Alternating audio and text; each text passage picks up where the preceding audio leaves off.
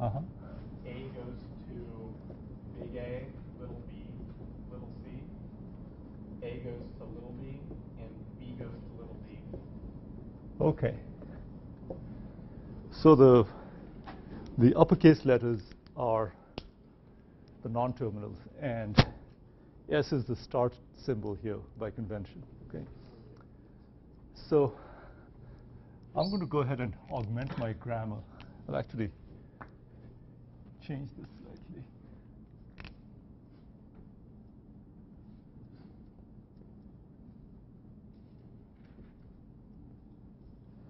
So we augment the grammar. So now I'll quickly compute some of the states in the grammar, in, in the parser. We had begun doing this last time, so I'm going to move through the, the initial part quickly instead of just you know going. So if you have questions, please interrupt me. The initial part that I think we did last time, I'm just going to try and get through that quickly.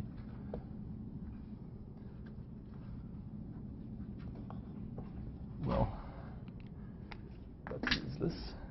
This one writes.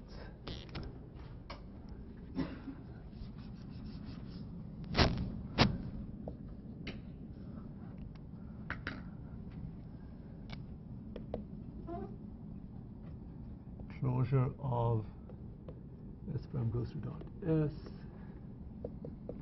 That's equal to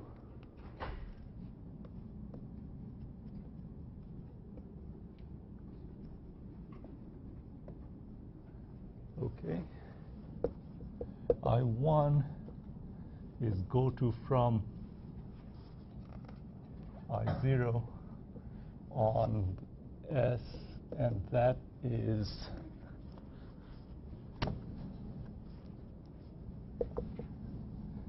closure of walk the dot across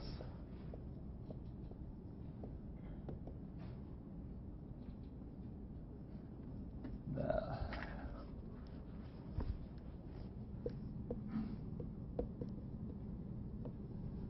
Okay. I2 is go to from I0 on little a that's equal to closure of pick that guy up, walk the dot across.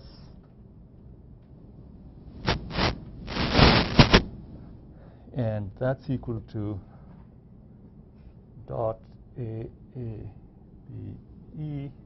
And there's a non-terminal here. So A goes to dot A, B, C, and A goes to dot B. And in fact, there's a non-terminal here, right to the right of the dot. So I should throw in the, the um, items corresponding to the productions for A, but they are in here already. They don't change anything. Right. Bottom left, is that dot in the right spot? It's not. Thank you. Okay. So that's, I've done all the closures out of I0, so that's taken care of. I1 doesn't have any closures going out of it. Let's compute closures out of, I mean, go-tos out of I2. So go to from I2 on big A, that's equal to the closure of, let's walk the dot across,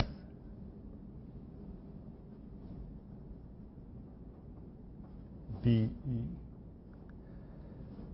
and big A. So this guy gets picked up as well. A goes to A dot BC. Right? Is that correct? A to A dot BC, should that big B be a little b? Which one? Oh, yes. Uh, thank you. You guys are alert this Monday morning, and I'm not. That's correct. Good. So here, to compute the closure, I first add in everything that's here already.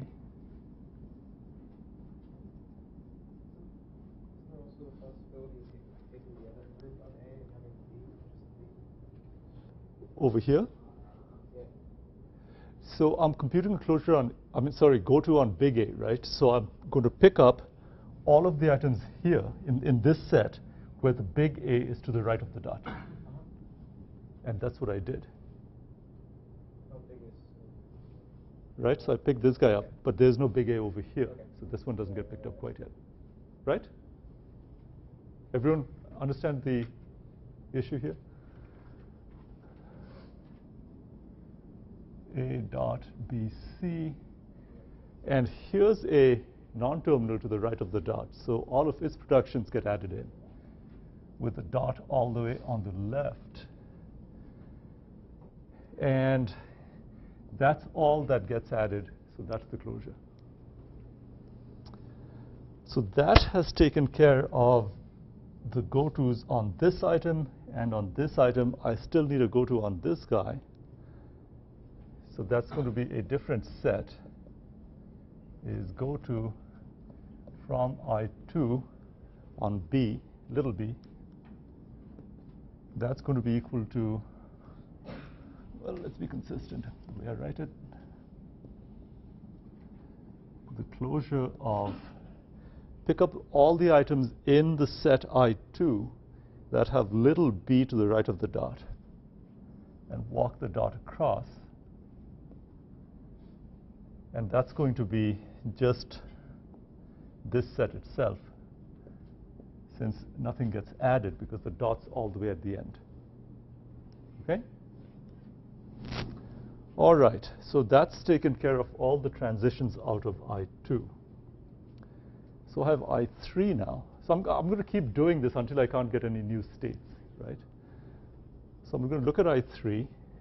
Here's I3. So I have transitions on big B, on little b and little d. Okay? So let's compute the go-to from I3 on big B. That's going to be equal to, what's that? Um, I'll see if it's a new state. Sometime soon we'll start repeating states. So I just want to hold off on naming these states. So closure of, I'm going to pick up all of the items in this set where this guy appears to the right of the dot. So that's A, big A, B, dot E, and that's the only one. And that's equal to, over here, since there's no non-terminal to the right of the dot, nothing gets added by the closure. S goes to little a, big A, big B, dot, little e. And that's a new state, so let's call that I5. Okay, so that's taken care of this guy. I have a transition out on little b. So go to from I3 on little b is going to be equal to the closure of pick up all of the items in this set where little b appears to the right of the dot. A goes to A little b dot C. And there aren't any non-terminals to the right of the dot, so the closure doesn't add anything. So that's equal to A goes to A B dot little c. And that's a new state, so I have, let's call it I6.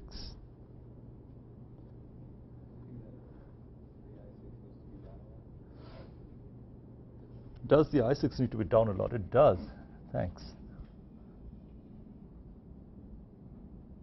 I6. And what that tells me is that I'm confusing myself on where the state boundaries are.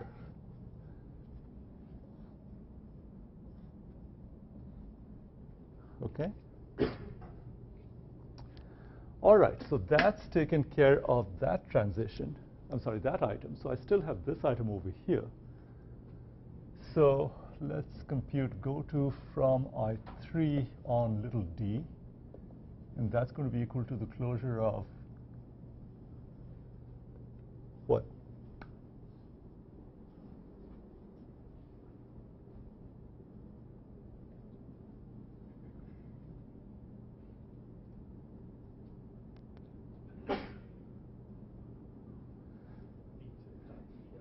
B goes to D dot, right? So I pick up everything in I3, but this guy appears to the right of the dot. Walk the dot across and compute the closure. And what will that closure be? Keith, yes. Are we supposed to walk the dot across during the closure, or should that dot be on the left of the D right there? What I do, so let's go and look at the definition. So the question is, when do I dot the, when do I walk the dot across? So the set go to of i on some symbol x is defined as doing this. I first pick up all of the items where this guy appears to the right of the dot. Where this guy is in the set I. Then I walk the dot across, so I get A goes to alpha x dot beta. And then I compute the closure. Right? That's how it was defined. Ring a bell? Oh, I was misreading one of the earlier statements, okay. Yeah, so I'm, I pick up all of the items with that symbol is to the right of the dot, then I walk the dot across, and then I compute the closure. So I've been doing this kind of mechanically, in part because it gets tedious after a while, but it's important to come back and understand the intuition of over here. What is this expressing? Because in the end, it's important that we understand what this, this repetitious computation is doing. This is saying, look, let's suppose the parser is in some state i, and we see something that x could derive.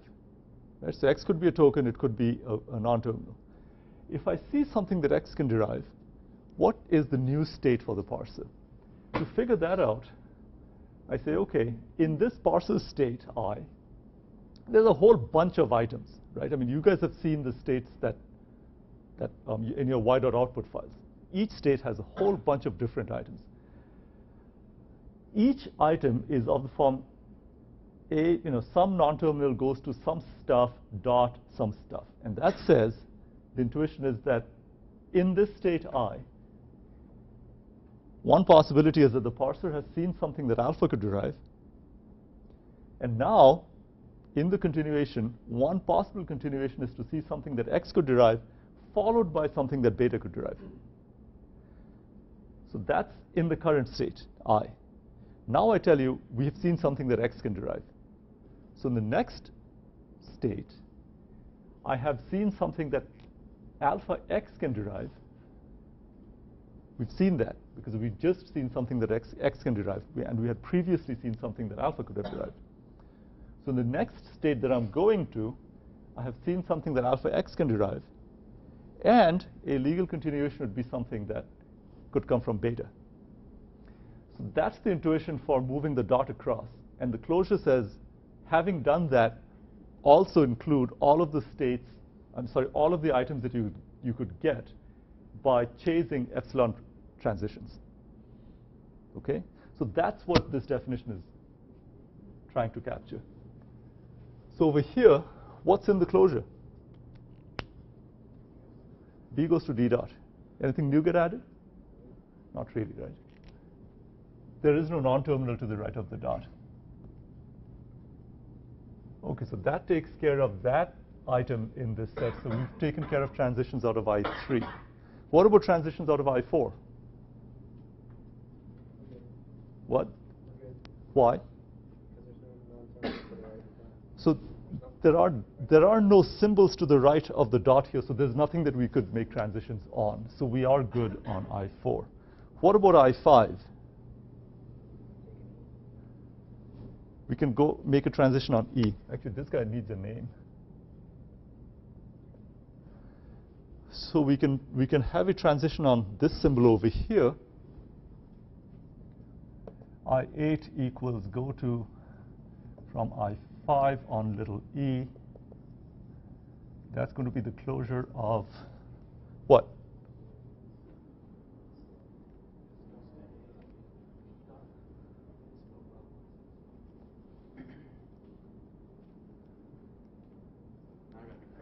That's right.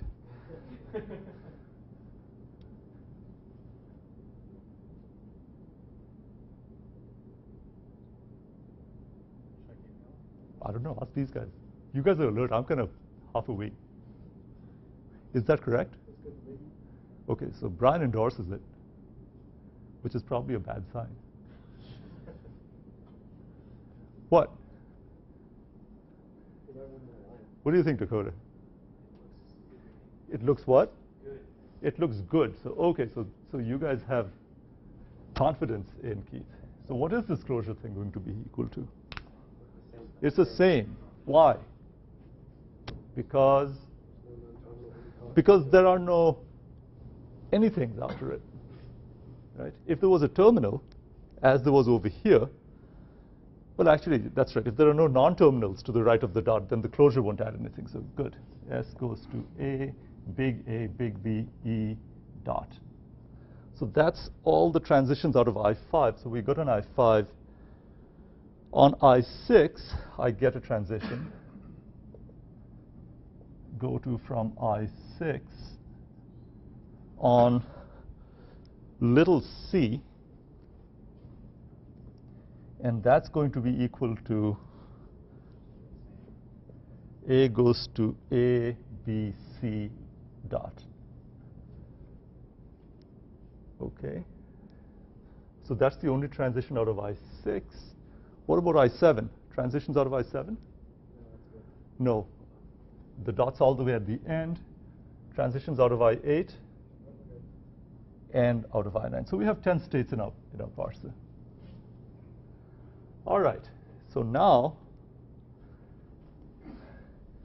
we have 10 states and we have just about enough space to do a parse table. So in my parse table, I'm going to have shift actions and reduce actions. And let me give these guys numbers because that will make it easy to refer to them when we're doing reduce actions. So here's my parse table. Okay, I'm going to reclaim some space over here.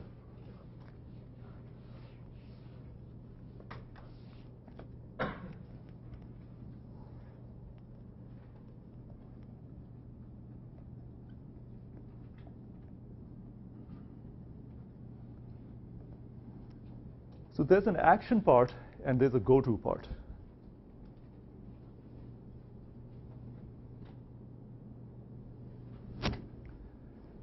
My action part is indexed on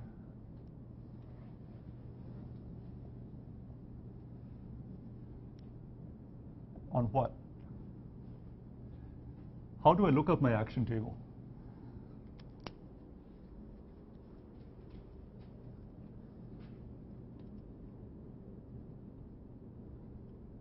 Hang on, there are people looking up their notes, so let's figure this out. What do I use to look up my action table?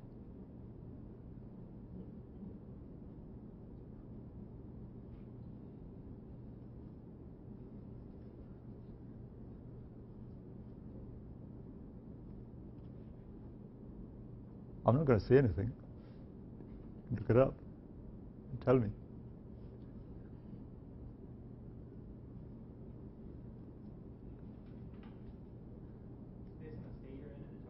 The state I'm in and the token that I look up. Thank you. So states and tokens. So states, I have 0 through 9. 0, 1, 2, 3, 4, 5, 6, 7, 8, 9. Okay?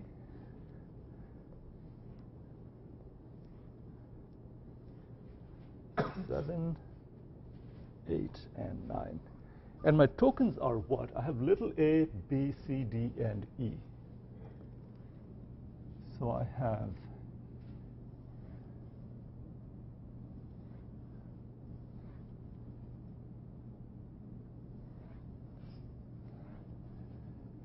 So I'm going to look them up, and my tokens are little a, little b, c, d, e, and I also use the end of input marker.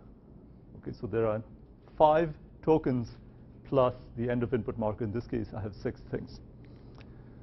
Okay, so in state 0, I have these two items.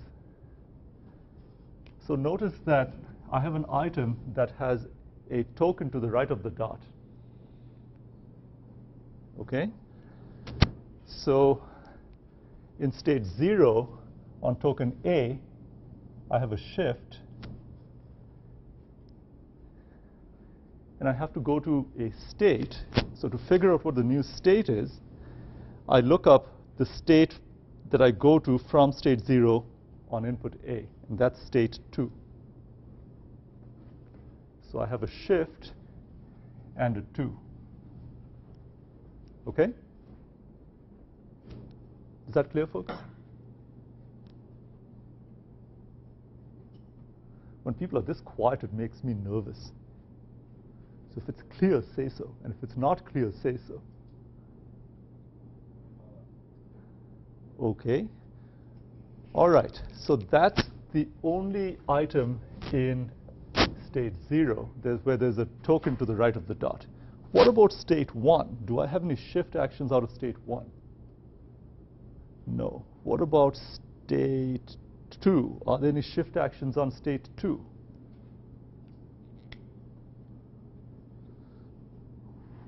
Someone come and tell me what the transitions out of state 2 need to be. No, you've done your, your piece. Dakota, do you want to take a shot? Go on, you can do it.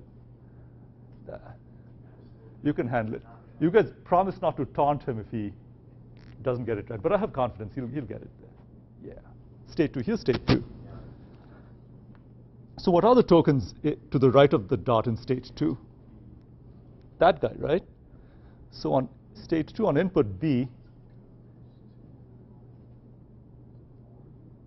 yeah,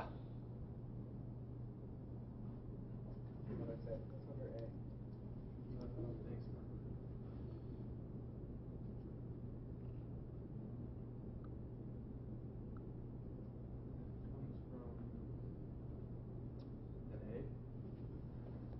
A. this guy.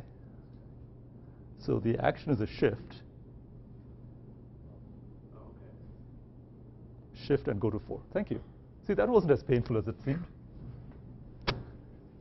So that's all the transitions, shift actions in state 2. What about state 3? Well, state 3 is a good one. Go on.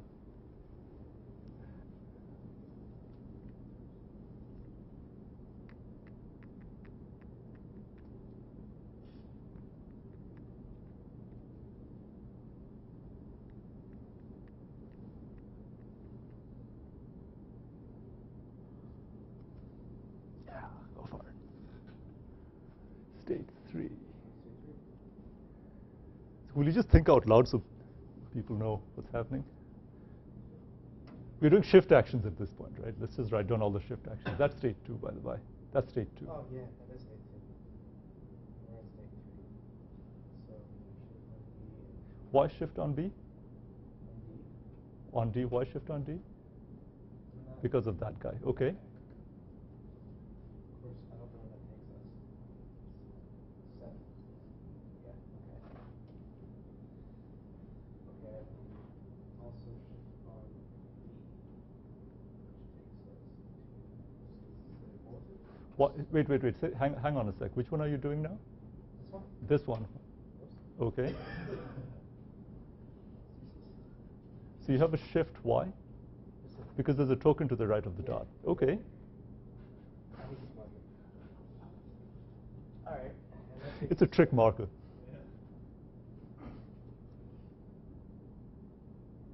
Wait a minute, it doesn't take us there. That's only. Same as state two. So Yeah. Is that what I want? Yeah. Six of B.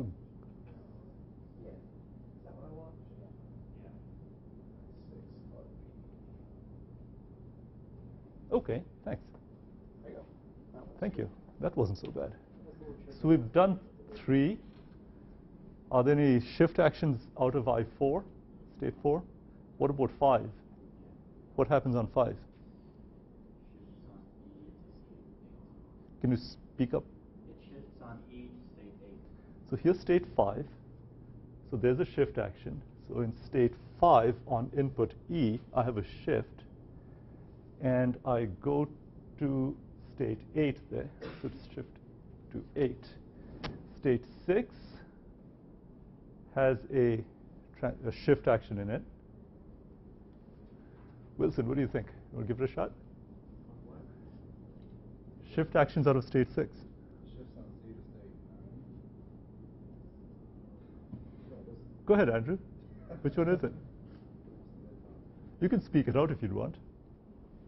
Yeah. Not very well. Six. Mm-hmm. Six on C.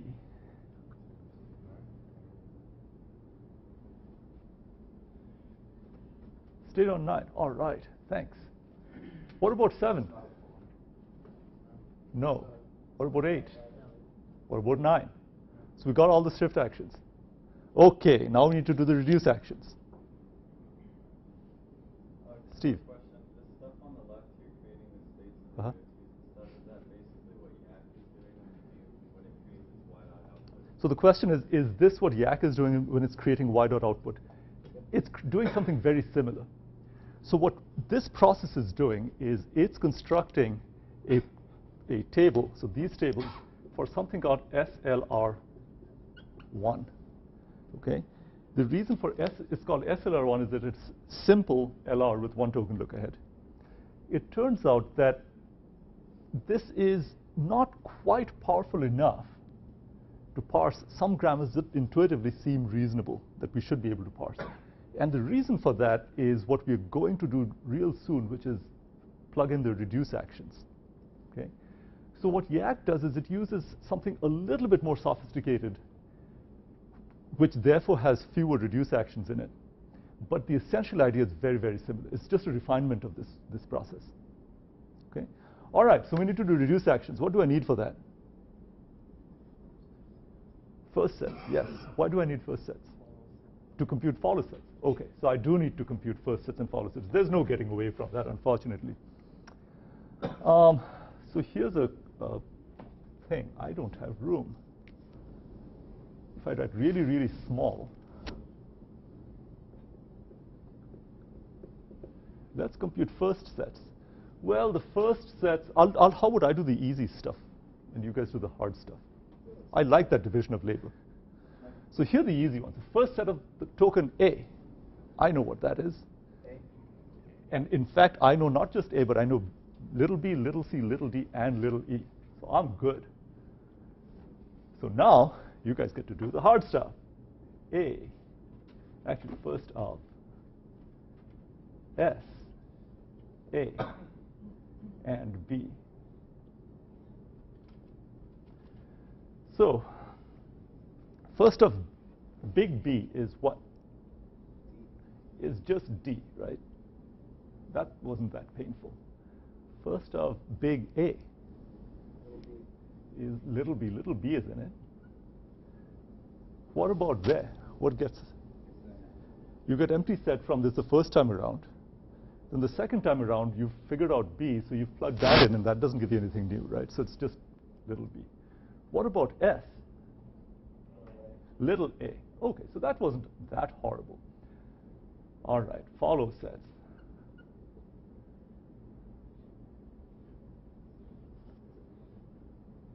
S, A, B. We will now follow the time-honored tradition of the instructor doing the easy stuff.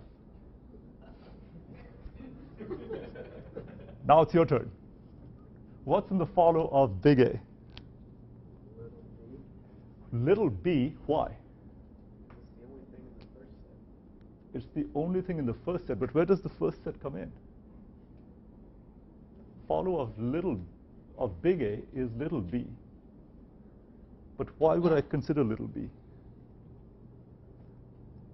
I don't know if that's the right thing or not. I'm just uh, thinking, asking you for your reasons. For all I know, your, your reason may be absolutely legitimate or not. I don't have anything to add. Okay, so Brian's going to take the fifth. Keith, what are you thinking? Because in the second rule where A goes to ABC, Uh-huh. the token B follows A. Okay, so we have over here this rule, and B can follow A, so we can throw in B. There's also D. Why? Andrew, what are you thinking? Because, big B follows A and first of B is D. Okay.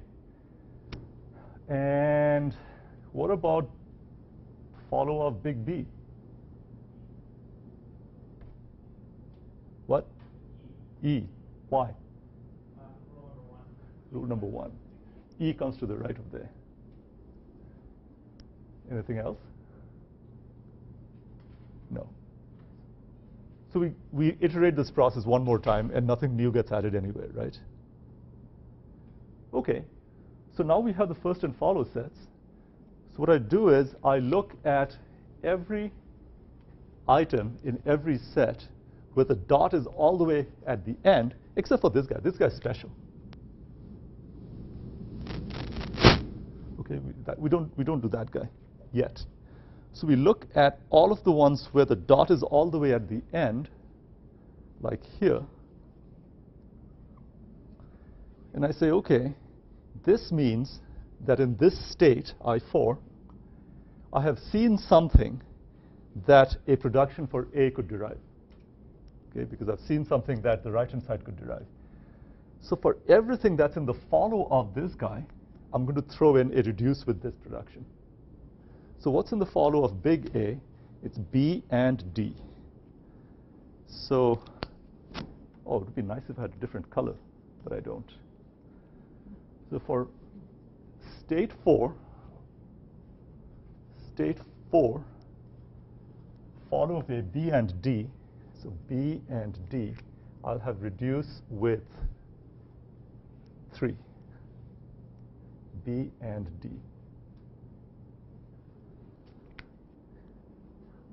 Those tables can get big and this can get confusing. So let me do this one more, go over this one more time, okay? So I'm scanning through the items, scanning through each state, and for every state that has an item where the dot is all the way at the end, what that means is that in this state, I have seen the right-hand side of, I've seen something that could be derived from the right-hand side. So I'm allowed to, so I'm going to go ahead and do a reduce with this production if the next input token is something that can follow this guy. Okay, so then I'll reduce. So this is, the follow of big A is B and D. So in state 4, on next input token B and D, I'm going to reduce using rule 3. Okay? All right, so that's this guy here. Here's another item where the dot is all the way on the, on the end. So I do reduce actions for everything in the follow of B in state 7. So follow of big B is just the symbol E. So in state 7 on E, I have a reduce with rule 4. All right?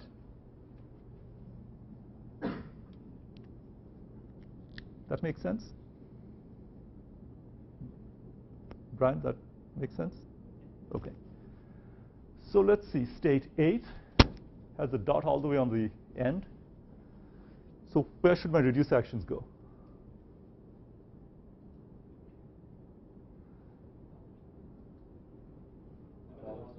Dollar sign. Dollar sign, why? Dollar signs follow S, follow of this guy. So S, in what state am I in? 8. And dollar, I should reduce with what? Rule 1? Okay. And so that takes care of this one. What about this guy?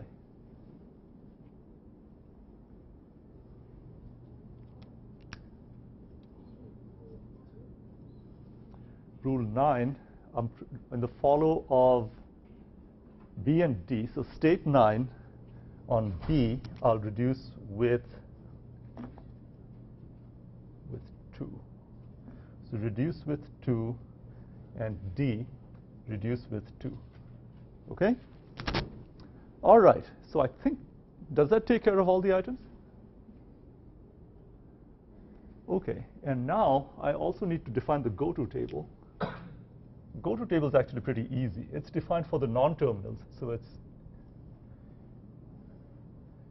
S, A, and B. Oh, I know, I forgot. I'm sorry.